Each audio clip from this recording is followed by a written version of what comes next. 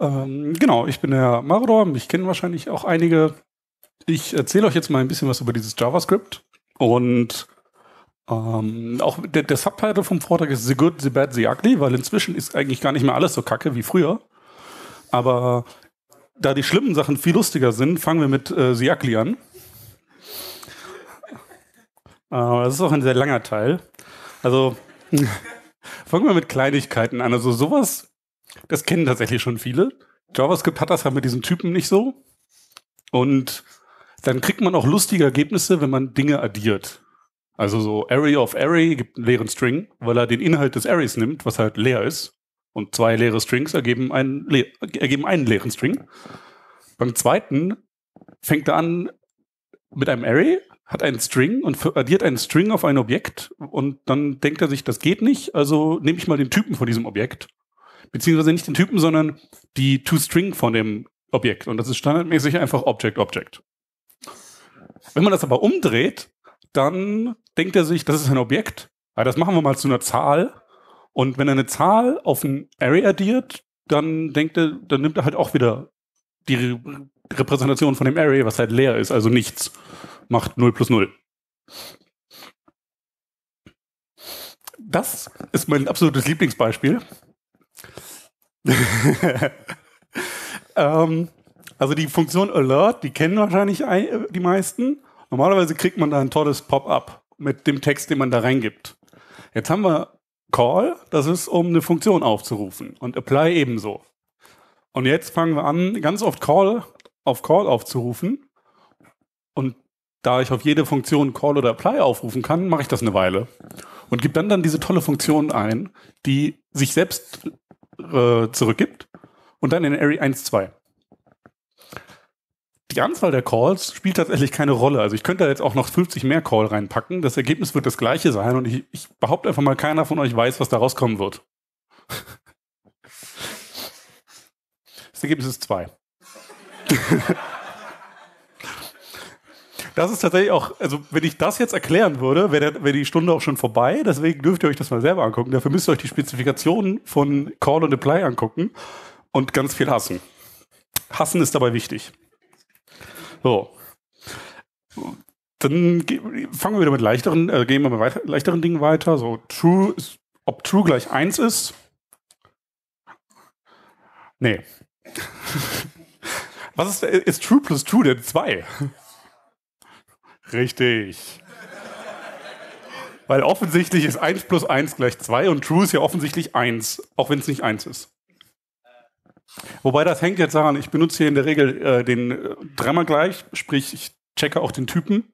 Würde ich nur zweimal gleich benutzen, wäre true gleich 1. Aber weil, also, äh, da man eigentlich nie doppelt gleich benutzen sollte, sondern immer drei gleich, mache ich das hier auch. So, das ist jetzt äh, für, jeden, der mit Floating Point äh, gearbeitet hat, ist das jetzt klar, dass ich offensichtlich, wenn ich das reingebe, das rausbekomme. Also es ist halt Ungenauigkeit, wie das so ist. Entsprechend sowas hier, also man würde jetzt ja meinen, ist korrekt, ist es aber nicht.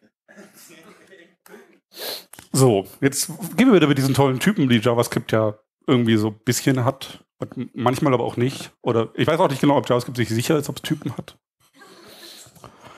Also das sieht nicht so aus, weil da kommt 21 raus als String. Ja, jetzt äh, subtrahieren wir das aber mal wieder. So, was wollen wir jetzt machen? Wir können ja nicht die 1 wegnehmen davon. Genau, da kommt 1 raus. So. Ähm, ist denn 0 gleich minus 0? So. Das ist, doch ist es. Ja. So, ist denn aber auch 1 durch 0 gleich 1 durch minus 0? Weil wenn 0 gleich 0, minus 0 ist, dann müsste das ja eigentlich äquivalent sein jetzt. Ist es aber nicht. Das eine ist äh, Infinity und das andere ist minus Infinity. Ups. Es ist natürlich immer äh, abhängig davon, das sind aber alles spezifikationskonforme Dinge. Das ist aber immer so eine Sache, also nur weil etwas spezifikationskonform ist, heißt es nicht, dass es überall so funktioniert. Chrome, sprich Node und V8, das ist so das Referenzbeispiel, weil das ist am weitesten da. Die Sachen, die ich jetzt hier vorstelle, die sind so alle in, im aktuellen Chrome nachvollziehbar. So. Genau, dann sagte ich ja eben, 1 durch 0 ist Infinity, 1 durch minus 0 ist minus Infinity. Ach, not a number ist eine super Sache. Ähm, das ist sehr wichtig, dass hieraus false rauskommt. Weil das ist tatsächlich einfach, die Spezifikation sagt, not a number ist nicht äquivalent zu not a number. Das ist halt einfach so definiert. So. Auch da. Es ist tatsächlich typunabhängig. So, ist not a number denn not a number? Ja, so, also klingt logisch. Ja, jetzt kommt's aber. Ist das not a number? Weil, also, das ist ja nicht eine Number. Ist es aber. Also es ist ein, foo is not a number, aber es ist nicht not a number. Jetzt haben wir aber hier, wir haben jetzt hier das gleiche mit Number. Es gab irgendwann mal ECMAScript 6 und da gab's, hat man angefangen, die globalen wegzunehmen. Jetzt gibt es Number, ist not a number. Wenn man ein bisschen JavaScript gemacht hat, weiß man, dass bei den meisten Funktionen ähm, die globale Funktion äquivalent ist zu der geprefixten. Einfach weil wir wollen ja nichts kaputt machen, also müssen wir den ganzen alten Scheiß mitschleppen, damit die Seiten immer noch funktionieren, wenn sie diesen alten Kram benutzen. Jetzt haben sie aber angefangen, das zu ändern, denn hier kriegen wir jetzt plötzlich False raus. Das heißt, Number ist not a number funktioniert so, wie man sich das vorstellt. Man prüft, ob etwas not a number ist. Also die, die ob es die Variable not a number ist. Da muss ich jetzt vorsichtig sein, wie ich mich ausdrücke. Ja, das ist das gleiche wie oben. Ja, das ist auch immer super. Wir wollen not a number parsen. Also not a number können wir ja nicht parsen, weil es ist ja not a number.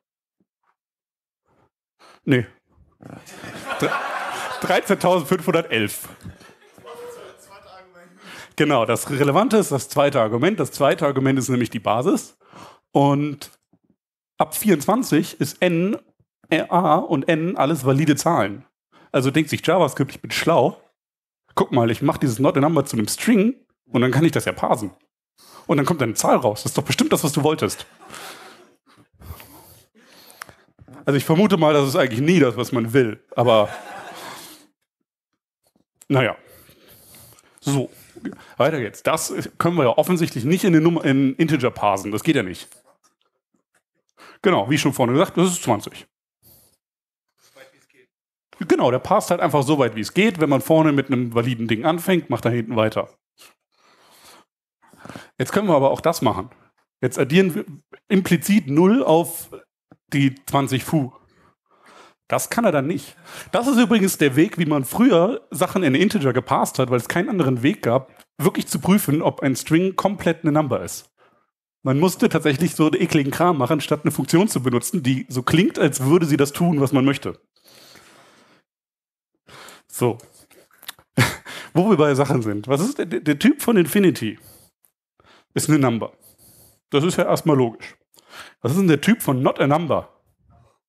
Number. Ah, der ist auch super. Wir nehmen die, die Min-Value von Number. Also die muss ja offensichtlich kleiner 0 sein, weil wir können ja auch mit negativen Zahlen arbeiten. Nee. Das ist, weil Number Min Value ist diese tolle Zahl, das ist die kleinste positive, das ist der kleinste positive Integer, so nah an 0, wie wir rankommen. Folglich größer 0.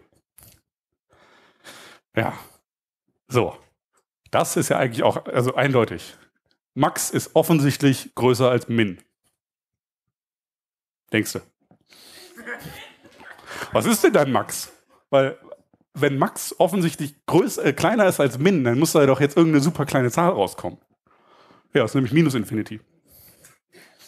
Jetzt gehen wir Min. Was ist denn denn Min? Also, ich hätte jetzt eigentlich erwartet, dass Max Infinity ist und Min minus Infinity, weil das sind so die größten Zahlen, mit denen wir arbeiten können. Ja, ist genau andersrum.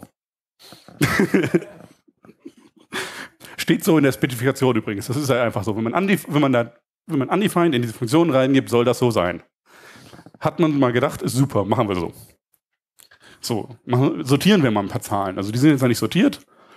Klingt, sieht ziemlich trivial aus, sollte ja ziemlich einfach sein. Ja, nee. Irgendwie ist die 10 da falsch reingekommen.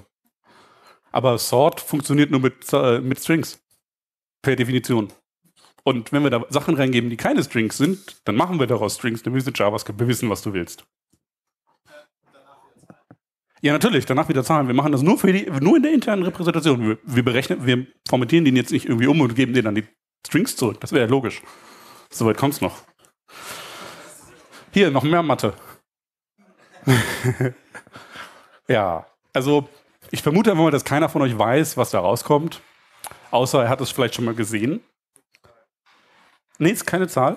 Da kommt Fail raus.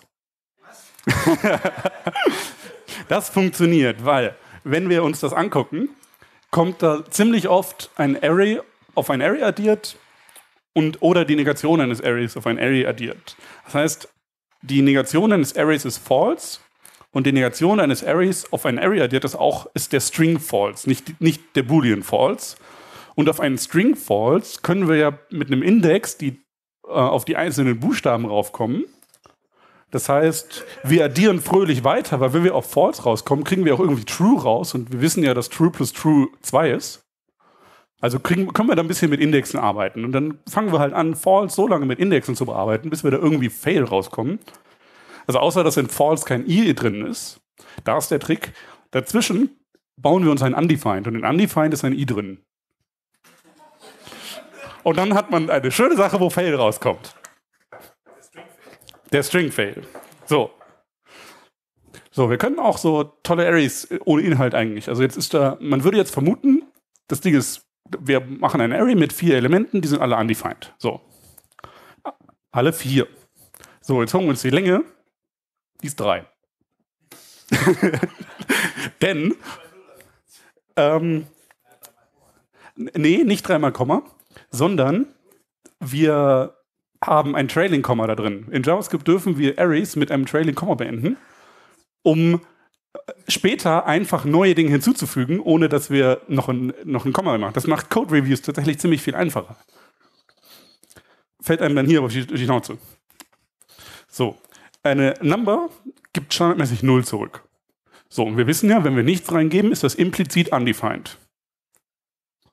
Also ist das ja auch 0. 0. Das ist not a number. Das ist auch wieder so ein Ding, das ist halt so. Da gibt es keine Logik, das ist halt so. In der Spezifikation steht, wenn wir undefined da reingeben, explizit, dann kommt da not a number raus. Wenn wir kein Argument reingeben, dann nicht. Und eine Sache, die auch wenig kommen, wissen, eigentlich kom kommentieren wir mit zwei Slash, wie in vielen Sprachen. Wir dürfen aber auch so kommentieren. Ich bin froh, dass es fast keiner macht, weil das wäre echt eklig. Aber weil JavaScript ja ursprünglich mal so, wir machen HTML und so minimal JavaScript, aber nicht viel. Also wollen wir auch HTML-Kommentare benutzen. Geht immer noch, weil in JavaScript entfernen wir ja nichts. Wir nehmen alles mit, was früher scheiße war, damit es immer noch scheiße ist. Und machen dann neue Dinge wie dieses Number Pass int. Äh, ähm, der Number ist not a number, um einfach mal zu ändern, was es denn ist. So. Jetzt wollen wir mal äh, drei Sachen vergleichen. Eins ist kleiner, zwei ist kleiner, drei. Ist ja logisch. Das denkt sich JavaScript auch. Dann ist 3 auch größer 2 ist größer 1. Nö. Weil wir können gar nicht drei Sachen gleichzeitig, wir können gar nicht drei Sachen vergleichen. Wir können immer nur zwei Sachen vergleichen. Das heißt, wir vergleichen 1 und, äh, ist kleiner 2 beim ersten. Das ist korrekt. Dann kriegen wir True. Und True ist ja kleiner 3, weil True ist ja 1, wenn wir in Number sind. Und 1 ist kleiner 3. Wenn wir bei unten arbeiten, dann haben wir True ist größer 1 und das funktioniert ja nicht. Deswegen funktioniert das aber. Da kriegen wir True raus. Weil dann kriegen wir ja 1 ist größer gleich 1 raus. So, jetzt haben wir noch Strings, die haben auch super Typeigenschaften. Also so ein, dieser String foo ist Typ String. So, ist ein foo ist aber nicht die Instanz String. Weil einmal groß, einmal klein geschrieben, das ist tatsächlich relevant. Dann machen wir uns einen neuen String. Wir machen einen neuen String foo und der ist gleich foo. Das ist korrekt. Dann äh, sollte da doch jetzt Typ String rauskommen, weil wir machen doch explizit New String. Nee, Object. Dieses ist ein Object, genau. Das ist. Nein, der Typ von New String ist Object. Weil es ist ein Object. Das ist ein Object mit dem Namen String, das ist korrekt. Aber es ist ein Object. Man beachte übrigens, dass ich da ausnahmsweise mal zwei gleich benutzt habe, weil mit drei gleich wäre das auf die Schnauze gefallen, weil, wie wir wissen, ist das eine ein Typ String, das andere ein Typ Object. Und dann hätte er direkt gesagt, geht nicht, weil das ist ein anderer Typ. Das macht es nicht besser. so. Dann. Äh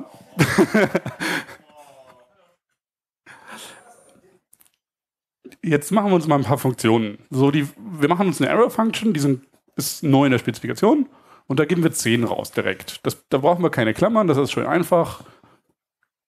Kriegen wir auch 10 raus. So, jetzt machen wir das gleich und geben nichts, geben ein Objekt zurück. Jetzt geben wir ein Objekt zurück, bekommen aber undefined zurück. Das ist, weil wir können zwar diese Klammern weglassen, die um ein neuen äh, Statement, äh, neues äh, um die, den Function Body anzumachen. Die können wir weglassen, wenn wir sofort was zurückgeben. Jetzt ist es aber nicht klar für den Parser, habe ich jetzt gerade einen leeren Body oder will ich dieses Objekt leer zurückgeben? Das, da hat man sich darauf geeinigt, man gibt ein, äh, dass es der Body-Start ist. Wenn ich da Klammern drum machen würde um dieses Objekt, dann würde ich tatsächlich ein Objekt zurückkriegen, weil die normale Klammer auf sagt, ich gebe jetzt einen Wert zurück das sind so ein paar dieser Sachen, die echt eklig sind. Das meiste fällt einem nicht auf im normalen Programmieren. Sollte man tatsächlich mal gewusst haben oder zumindest mal gesehen haben, weil sonst fängt man an zu programmieren, hat dann irgendwann die, so einen Fehler und denkt sich, was, das geht doch nicht. Und dann sitzt man da zwei, drei Tage dran und denkt sich, nee, das geht nicht. W wieso ist das falsch? Das geht doch nicht. Und wenn man so ein bisschen weiß, dass JavaScript echt seine Eigenheiten hat, dann geht das ganz so. Jetzt haben wir noch ein bisschen schlechte Dinge. Die sind nicht mehr ganz so eklig. Davon habe ich auch nicht so viele von diesen schlechten Dingen, weil JavaScript ist so, naja, es gibt eklige Dinge und es gibt gute Dinge. Das, dazwischen ist halt nichts.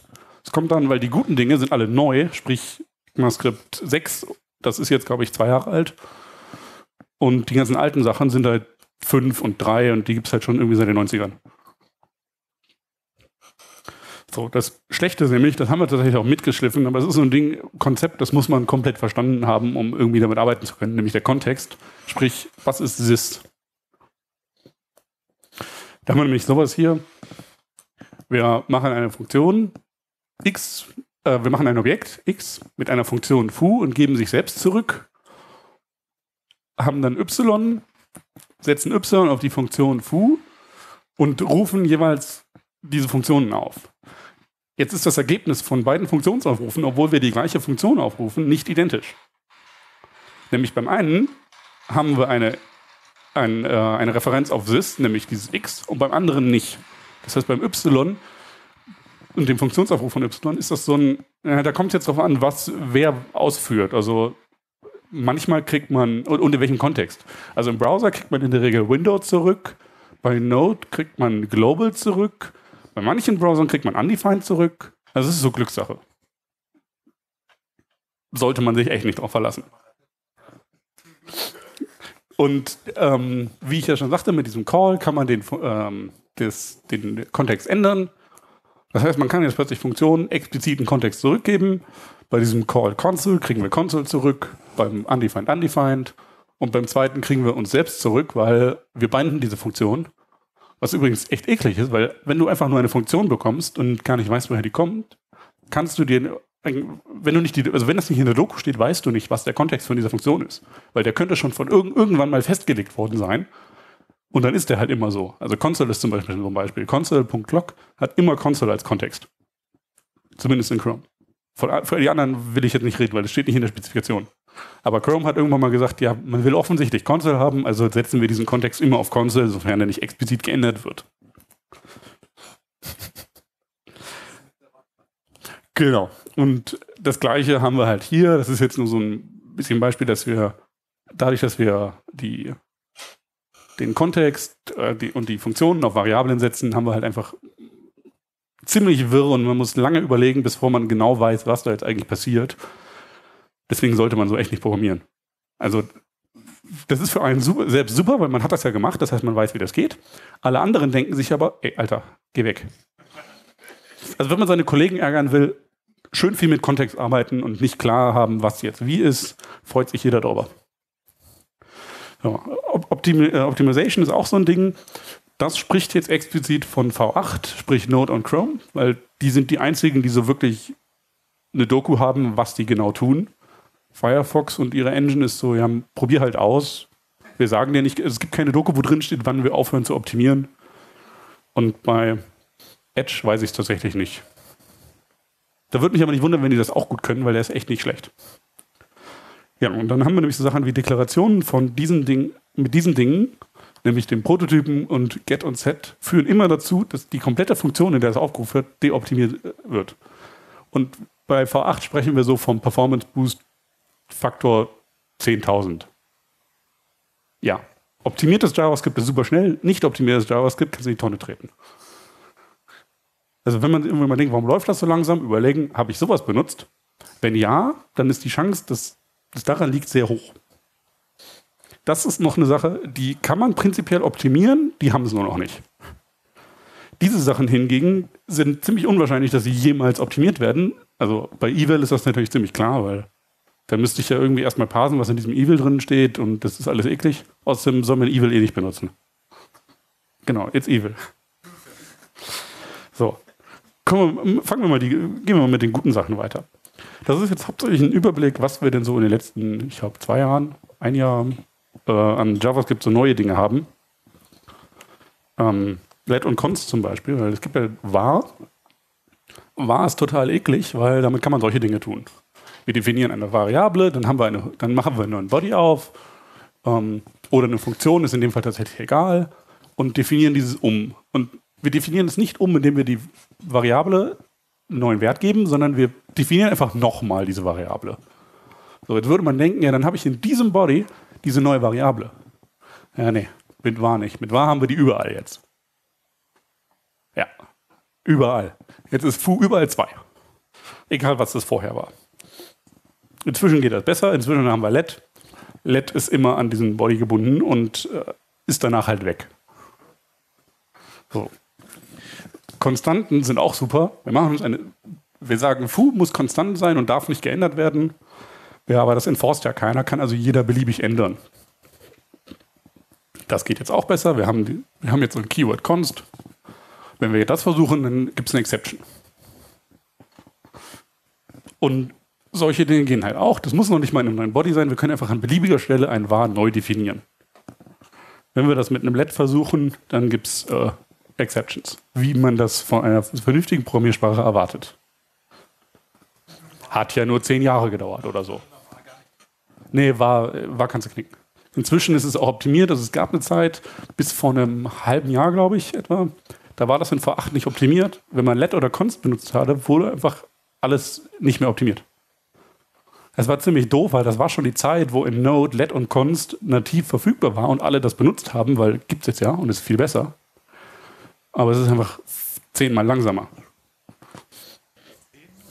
Na, das ist tatsächlich nur zehnmal langsamer. Also es, gibt ein paar Fälle, aber das ist nur zehnmal, weil das wird so halb optimiert. Chrome hat und vor acht haben wir inzwischen irgendwie drei verschiedene Optimierungsstufen. Genau, was aber bei const halt ist, const setzt nur die Variable, das freest nicht, das heißt, wir dürfen beliebig Dinge da drin ändern. So, dann haben wir Destructuring. Wenn wir ein Objekt haben und dann einen bestimmten Wert davon haben wollen, dann müssen wir den halt explizit setzen. So war es früher. Jetzt können wir solche Dinge tun, um wesentlich komfortabler dran zu kommen. Wenn man nur einen Wert hat, ist es relativ egal, wie man das jetzt macht. Wenn man aber irgendwann, sagen wir mal, fünf von den Properties von seinem Objekt haben möchte, den Rest aber nicht, ist das ziemlich eklig, wenn man dann fünfmal schreiben muss, dass man bar gleich foo.bar setzt. Damit geht das einfacher. Das gleiche geht für Arrays. Ist auch, da können wir nämlich auch mit diesem Komma einfach Dinge dazwischen leer lassen. Das sieht ein bisschen gewöhnungsbedürftig aus, aber ist echt toll insgesamt. Und wir können Variablen, wenn wir Variablen wechseln wollen, braucht man früher zwingend eine dritte Variable.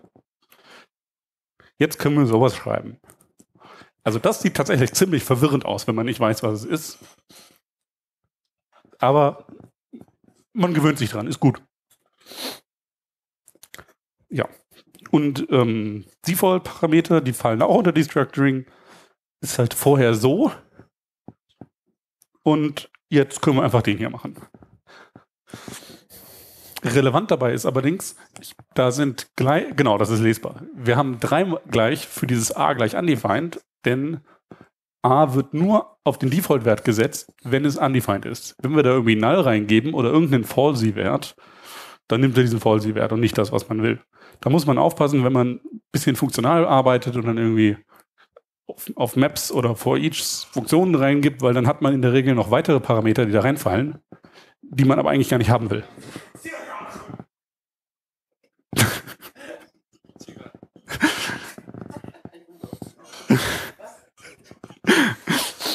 genau, und damit können wir halt ähm, wesentlich schöner irgendwie Default-Werte setzen. Das funktioniert auch innerhalb von Objekten, wie man da sieht, und das funktioniert auch mehrfach. Also wir haben ein Objekt, das setzen wir gleich. Bei dem letzten, da setzen wir a gleich 1 und b gleich 2, sofern die nicht gegeben sind und setzen den kompletten Ding auf ein leeres Objekt, sofern wir nichts anderes haben, was dazu führt, dass wenn wir nichts reingeben, ein Objekt a gleich 1 und b gleich 2 haben. Wenn wir aber ein Objekt reingeben, was a gesetzt hat, b aber nicht, dann haben wir a den Wert, den wir reingegeben haben und b den Default-Wert.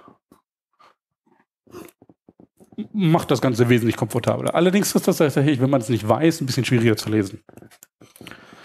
Dann haben wir sowas wie Spread Rest. Da ähm, haben wir so wenn man alle Argumente einer Funktion haben möchte, gibt es das Keyword Arguments.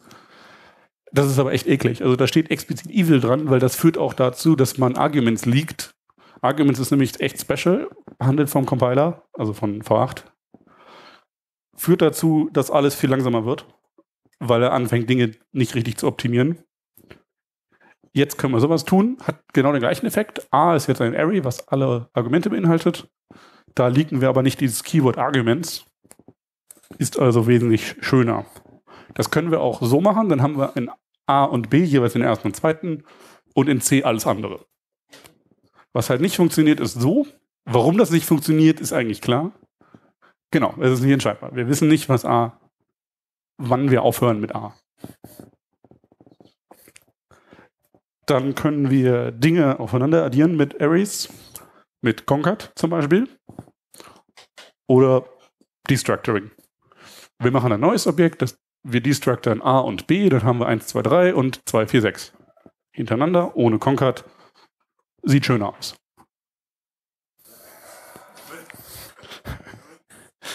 Naja, Punkt, Punkt, Punkt A heißt, wir nehmen das Array 1, 2, 3 und nehmen es effektiv aus dem Array raus. Das heißt, das, das sind jetzt einfach nur die Zahlen 1, 2 und 3. Und wenn wir die dann, und die packen wir in ein neues Array.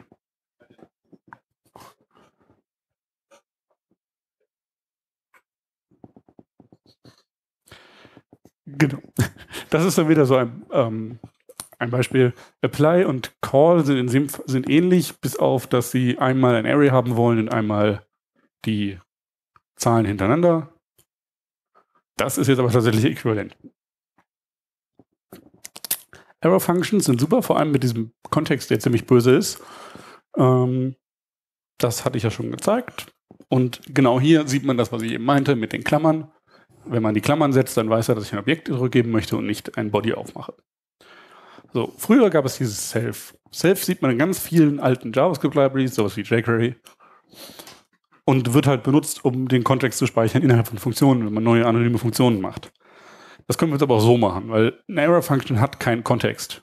Die ist immer an den lexikalischen Kontext gebunden, sprich an den Kontext, wo diese Funktion definiert wurde macht das Ganze wesentlich entspannter, vor allem wenn man funktional programmiert, weil da möchte man eigentlich immer nur ganz viele neue Funktionen in irgendwelche Funktionen reingeben und diesen Kontext, wenn möglich, behalten. Und wenn man immer dieses Self haben möchte, ist das echt, haben müsste, wäre das echt nicht so schön.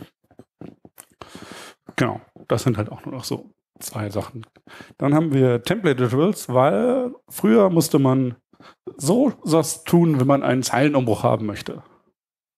Das kann man so machen, ist aber nicht lesbar, finde ich. Also vor allem, wenn man jetzt mit einem geht das vielleicht noch, aber wenn man da jetzt irgendwie eine Beschreibung haben möchte, so à la README und dann so einen Text da reinbaut, dann hat man irgendwie alle fünf Wörter einen Slash N drin. Das ist nicht so schön. Jetzt können wir einfach einen, mit Backticks arbeiten. und einfach einen Zeilenumbruch da reinmachen. Das gleiche, wir addieren Dinge. Hier war ich jetzt auch einfach mal so frei und habe nicht den, die Typen angepasst, sondern einfach mal der JavaScript weiß ja, was ich tue, wie wir gelernt haben. Ähm, da kommt übrigens foo1 bar als String raus. Das können wir aber auch so machen. Das ist ein bisschen eindeutiger. Und vor allem ist es definiert bei Template Literals, dass alles, was wir da reingeben, sprich dieses Dollar, Klammer auf 1, wird immer zu einem String gepasst vorher. Per Definition. Das heißt, egal was wir da reingeben, da geht immer ein String rein. Ja. Haben ähm, Object Literals. Wir können ein bisschen äh, verkürzen Dinge. Wir müssen nicht mehr zwingend allem eine Funktion reingeben, sondern können auch einfach, wie in, wie man es von klassenorientierten Sprachen kennt, direkt so eine Funktion darauf definieren. Wir brauchen nicht mehr Doppelungen und wir können direkt irgendwelche computed Properties definieren, ohne sie erst später zu definieren. Was übrigens den großen Vorteil hat, beim rechten weiß V8 direkt, wie das komplette Objekt aussieht und kann das dahingehend optimieren. Beim linken weiß es das nicht. Beim linken optimiert V8 erstmal, okay, ich habe ein X mit zwei Properties. Oh, jetzt kommt eine neue Property hinzu. Jetzt habe ich ein Objekt, das kenne ich so noch nicht. Das muss ich erstmal neu durchdenken. Das muss es jedes Mal, wenn man ein Objekt äh, beendet, äh, verändert. Das sind, sind sogenannte Hidden Classes bei V8. Man möchte ein Objekt möglichst einmal definiert haben und dann nie wieder was an den Typen da drin ändern. Und dazu gehört auch, dass wir keine Properties hinzufügen oder löschen, weil das führt immer dazu, dass V8 sich denkt, nee, so habe ich mir das aber nicht gedacht. Das mache ich jetzt neu. Und wohlgemerkt, wenn V8 sich das oft genug gedacht hat, dann denkt sich V8 auch irgendwann, ach leck mich, ich höre jetzt auf, das zu optimieren und mach halt deinen eigenen Scheiß. Dann wird es langsam. Ja. Damit Leute ein bisschen einfach arbeiten, haben wir jetzt Klassen. Also außer, dass wir keine Klassen haben in JavaScript, haben wir Klassen. Das ist echt eklig. Also das ist eigentlich so ein Fall, den könnte ich auch unter das Bad packen, weil JavaScript hat keine Klassen. JavaScript hat Prototypen. Jetzt haben wir aber ein Keyword Class und so Extends, was eigentlich da, was so aussieht, hätten wir Klassen. Haben wir aber nicht. Das sind immer noch nur Prototypen. Das ist einfach nur andere Syntax. Da hilft auch nicht, dass einige große Libraries sehr stark dazu gehen, dass man diesen Syntax benutzt. Aber nun ja, jetzt haben wir sie. Und da können wir auch, wie man das von anderen Sprachen kennt, so Statics drauf machen und direkt Werte zugeben. Wobei da, da wo ich es angegeben habe, das ist ES Next. Das heißt, das ist noch nicht offizielle Spezifikation. Da ist man sich immer noch nicht 100% einig, ob man das jetzt wirklich so macht. Ist aber Stage 3, es gibt vier Stück. Vier heißt, wir sind fertig damit und das ist jetzt so. Und drei ist, naja, das ist schon ziemlich gut, was wir da haben. Wenn jetzt nicht irgendjemand einen riesen Fehler mit unserer, in unserer Konstrukt findet, lassen wir das auch so. Ist also ziemlich safe to use. Ja, dann haben wir ähm, Promises. Das ist ein Feature, was sehr essentiell geworden ist. Früher gab es nämlich Callbacks für alles, was dazu führte, dass man irgendwann in Stufe 18 ist, weil man eine, weil man Sachen immer mehr Callbacks geben muss, weil man ja warten muss und JavaScript ist nun mal ziemlich asynchron. Allein schon, weil wir haben nur einen Thread und den müssen wir ja schon irgendwie gut nutzen. Naja, dann gab es irgendwann Promises. Promises haben so ein Resolve und ein Reject. Und das ist eigentlich nichts anderes als eine Funktion, dann kriegen wir einen Promise zurück und dem können wir sagen, wenn du fertig bist, mache dies. Oder wenn du fertig bist und einen Fehler hattest, dann mach dies. So. Und die können, und das kann man fröhlich hintereinander machen. Also wenn man so einen Send auf einen Promise hat, kriegt man wieder einen Promise zurück. Und auch den Wert, den man in seinem ersten Send fertig berechnet hat, den kriegt man dann im nächsten. So. Das kann man sich, äh, das kann man auch ein bisschen visualisieren. Das zeigt halt nur, wann was passiert. Und rot ist in dem Fall rejected. Das Ganze mit Callbacks, ich glaube, das würde ich jetzt nicht auf die nächsten drei Folien kriegen. Ja, wir haben auch inzwischen Generators.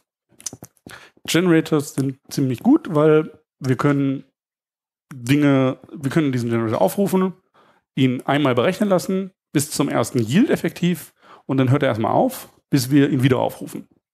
Und dann macht er weiter. Wenn man also längere Berechnungen hat und Zwischenwerte, ist das ganz praktisch. Jetzt in diesen einfachen Beispielen ist das ziemlich egal.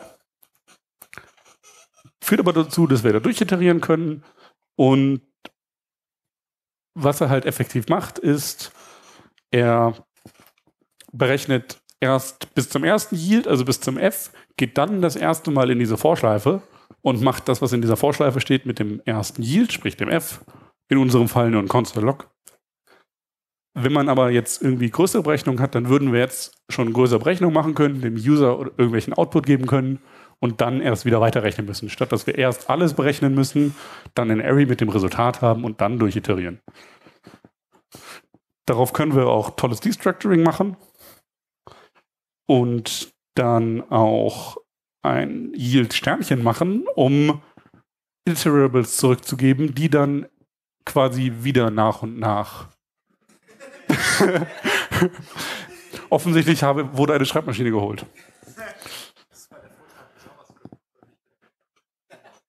Ja, es ist nur ein Chrome, was ich hier auf habe. Genau. Und das mit dem Yield zeigt halt, dass wir auch sowas machen können. Das äh, erste Beispiel würde halt yielden, dann log, dann wieder yield, dann wieder log, dann wieder yield, dann wieder log. Und beim zweiten Beispiel sieht man, dass dieses Return-Keyword in Generators echt nicht nötig ist. Es führt nämlich nur dazu, dass er einfach aufhört. Und er hört auch nicht auf und gibt einem den, das, was man ihm im Return gibt, sondern er hört auf und das Resultat von dem Return ist egal. Also ein Return in einem Generator ist echt so ein Zeichen, don't. Ja, außer abbrechen, aber man möchte meistens nicht abbrechen bei Generatoren. So, wenn man jetzt diese beiden Konzepte zusammenführt, kriegen wir Async Await. Das kennt man unter anderem aus C Sharp. Darauf kann man ähm, kann man Promises ein bisschen einfacher machen.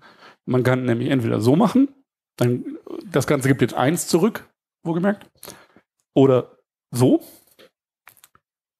Das führt jetzt dazu, dieses Await führt effektiv dazu, dass er so lange wartet mit der Execution von der Function, bis dieser Promise fertig ist. In unserem Fall ist das nur ein Tick in der Event äh, Queue, weil wir haben nur ein Resolve. Da könnte man aber auch mehrere Dinge drin haben. Nämlich zum Beispiel sowas. Dann haben wir n, das Resultat von a, sprich 1, und geben dann n plus 1 zurück.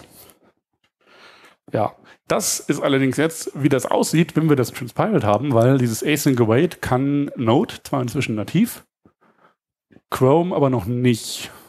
Also ich glaube, der neueste inzwischen schon, aber bis vor kurzem nicht. Und da sieht man halt, dass Async Await eigentlich nichts anderes sind als Generator und Promises zusammen.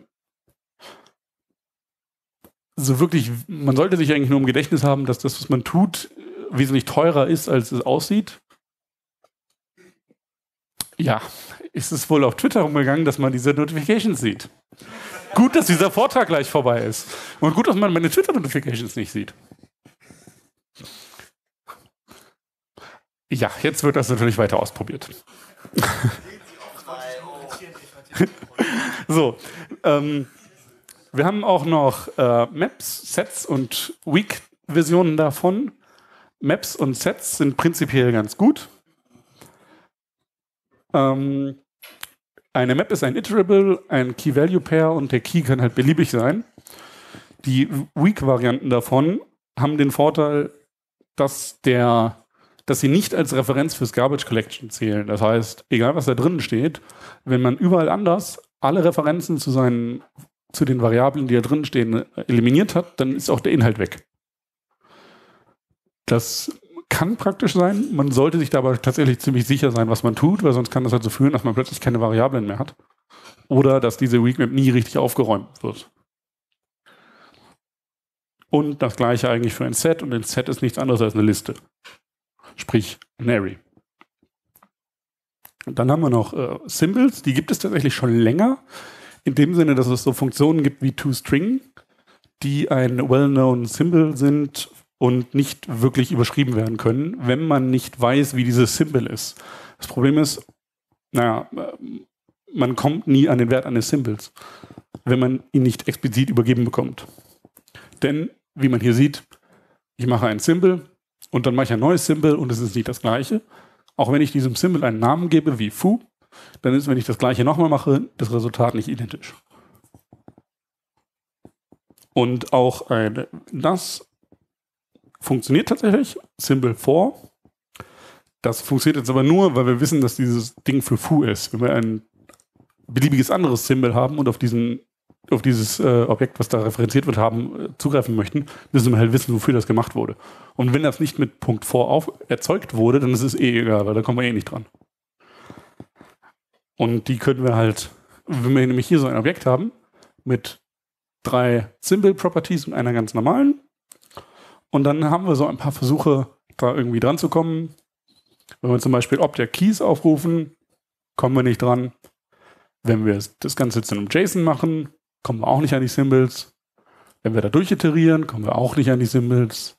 Wenn wir Get Own Property Names benutzen, eine neue Funktion, kommen wir auch nicht dran. Das Einzige, wo wir drankommen, ist mit Get Own Property Symbols. Da kommen wir an die Symbols. Das ist aber halt schon sehr explizit. Das heißt, man muss wirklich genau wissen, dass man an irgendeine Symbol Property haben, kommen möchte.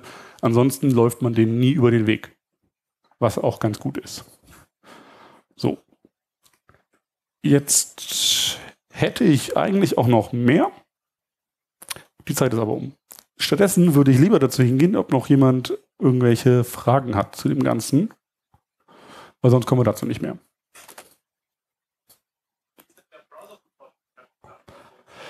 Die Sachen, die ich bis, also die Frage war, wie der Browser-Support ist für die Sachen, die ich vorgestellt habe. Die Sachen, die ich hier vorgestellt habe, die funktionieren alle in, in aktuellen Browsern.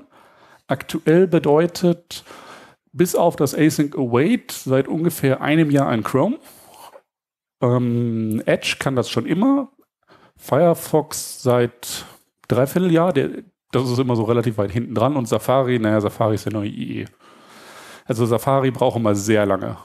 Was aber auch verständlich ist, weil Safari hat ein Update pro Jahr. Entsprechend langsam geht das voran. Allerdings, äh, trotzdem, die Sachen, die man hier benutzt, wenn man nur die neuesten Browser targetet, kommt man da eigentlich immer dran. Ansonsten, das ist nämlich das, was später in den Folien drin kommen würde, guck dir mal äh, Babel an. Das ist ein, Frame, äh, ein Tool, um die Sachen eben zu transpilen in den alten Syntax, wie das, was ich eben mit Async Await gezeigt habe. Damit kann man die Sachen benutzen und transpilen, damit sie eben auch in alten Browsern funktionieren. Ja, Igel?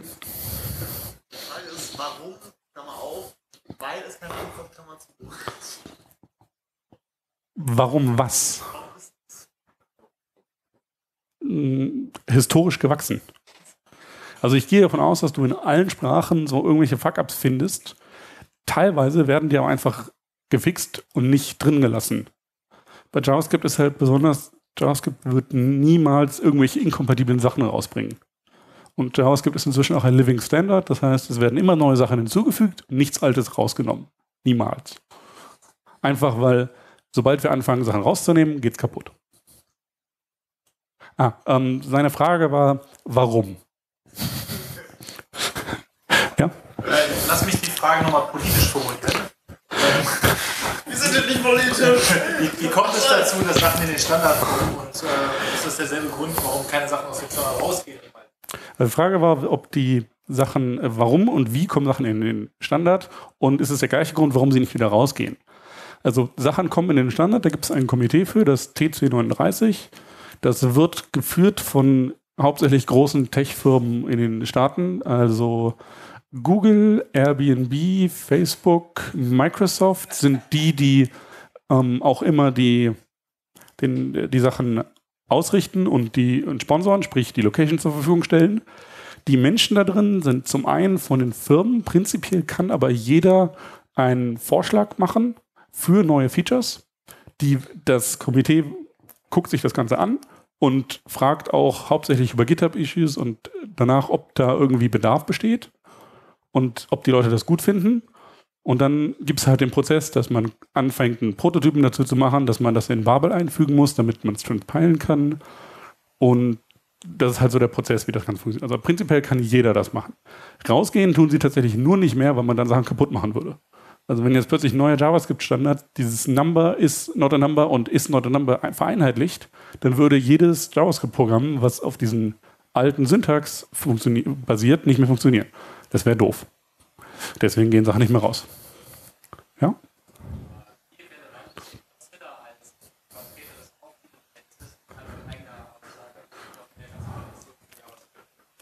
Also die Frage ist, inwiefern Mozilla noch relevant ist für die ganze Standardisierung. Ähm, also relevant sind sie definitiv noch. Sie richten, sie sind zwar nicht Sponsor von diesem TC39, sprich, sie richten das nicht selber aus. Ähm, sie haben aber einige Mitglieder da drin, die auch daran arbeiten.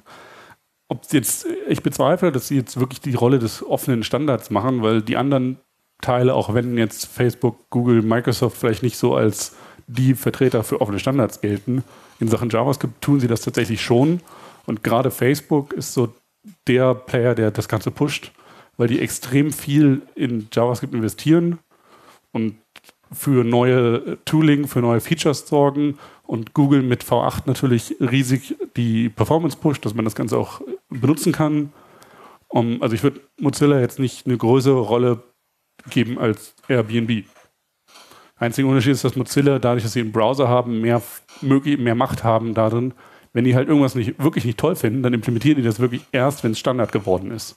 Und nicht schon früher, weil Sachen werden oft schon implementiert, bevor sie komplett durch sind und sozusagen offiziell im Standard sind. Ja, da haben sie halt einfach als Browserhersteller die Macht. Ja.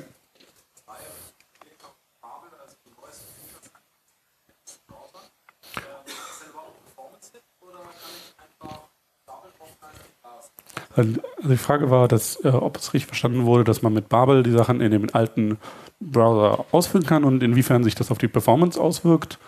Ähm, also ja, man kann, das mit Babel werden Sachen in ECMAScript 5 umgewandelt. Das ist so ungefähr ab Internet Explorer 8. Also schon sehr lange. Ich glaube, Google Chrome kann man quasi Version 1 benutzen und es funktioniert. Firefox auch irgendwie Version 15. Ähm, Performance ist natürlich, man hat immer einen Performance-Hit dabei. Die sind allerdings sehr bemüht, das Ganze möglichst gering zu halten. Ähm, das ist aber tatsächlich so eine Sache, da muss man sich jedes Feature einzeln angucken. Also man kann jetzt nicht global sagen, es wird damit 20% langsamer, sondern je nachdem, welche Features man benutzt, zum Beispiel dieses LED Const war, hat überhaupt keinen Performance-Hit, weil Transpilen passiert tatsächlich nichts anderes, als dass alles auf var geschrieben wird. Und beim Compilen wird halt geguckt, ob alles, was man, ob man der Spezifikation entspricht. Ja.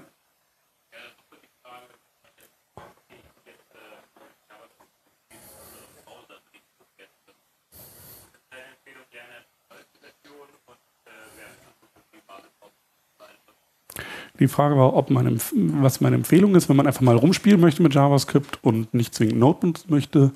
Ähm, ja, ich würde sagen, einfach das, den aktuellen Standard, vielleicht sogar schon Sachen, die noch nicht im Standard sind, weil alles, was so Stage 3 ist, ich glaube, es gab noch nie, es gibt noch nichts, was rausgeflogen ist wieder oder als nicht richtig empfunden wurde, wenn Stage 3 war.